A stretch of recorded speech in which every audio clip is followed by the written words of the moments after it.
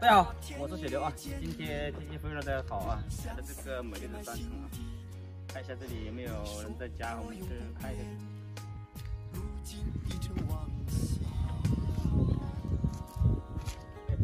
哎，这个叔叔，你去干什么去了？啊，我是在家里面做一下劳务。啊，做劳务去。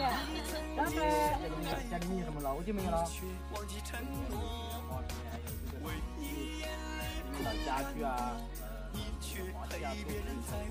哦，那个你们家里有没有一一个分开的看得起吧？看就这些了。哦，有是有一个在家去吧？哦。哎，看得起的很多钱了，这个。加钱，那就我们先看东西嘛，我们先看登记嘛，看了我们再再和他价钱，看了嘛，没看登记我们？知道我下。我这感觉，那了噻？走了。啊，那你这个身份证呢？在等着吧？在这等你啊？啊，不用怕了，我在外面忙了他等你来走了。那你不会到家里去吧？没事。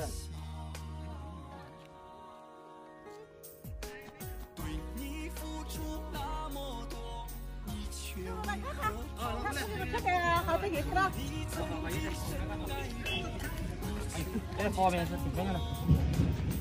这是一个清代时期仿的。哦，对分开那个了。勾釉的一个花瓶。葛釉瓶，葛釉的话是自然开的铁器，铁器啊，这自然肯定是金。我好多分开那个了啊。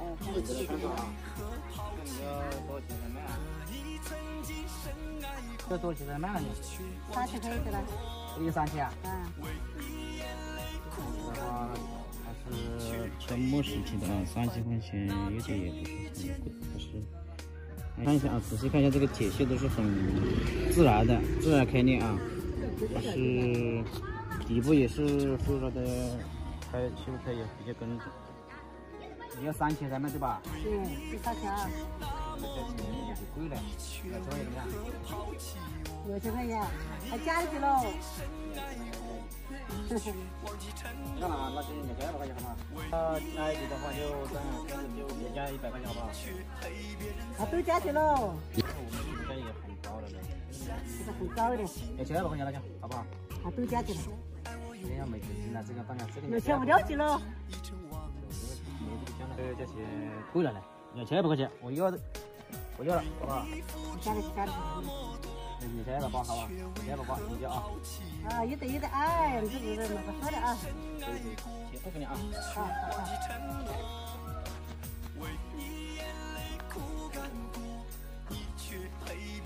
今天我们收到这个小花瓶啊，这当时呢也不少，两千二百八十，二百八十块钱吧，这个这个小瓶子呢是一个清代的一个猪肉瓶啊，这样子，漂亮的。今天我们也是做个小路，这东西还是收藏的很漂亮的，他们家里面做摆设什么的都很好看。今天我们到此结束了啊，感谢大家关注。